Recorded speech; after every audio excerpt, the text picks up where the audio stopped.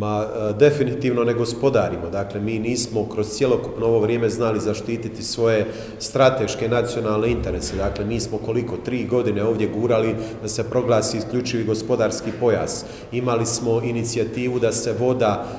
zaštiti Ustavom, dakle i izvori vode, ali evo ništa od toga nije prihvaćeno, dakle željeli smo zaštititi to da vodoopskrba ostane kao javni servis pod e,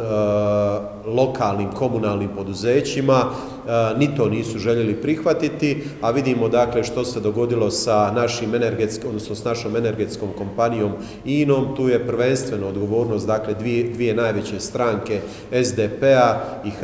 HDZ-a, vidjeli smo što se dogodilo s telekomunikacijama, tako da ta pitanja trebate postaviti njima. Naš stav je bio jasan, tržišno gospodarstvo da, ali e, neke stvari u državi moraju biti e, pod e, kontrolom države. To su dakle energetika, to su ovi resursi ovaj, svakako. To treba biti zaštićeno, ali nažalost to kod nas nije bio slučaj.